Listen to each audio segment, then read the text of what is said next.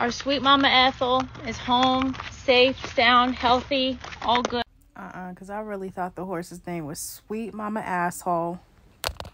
It's Ethel, y'all.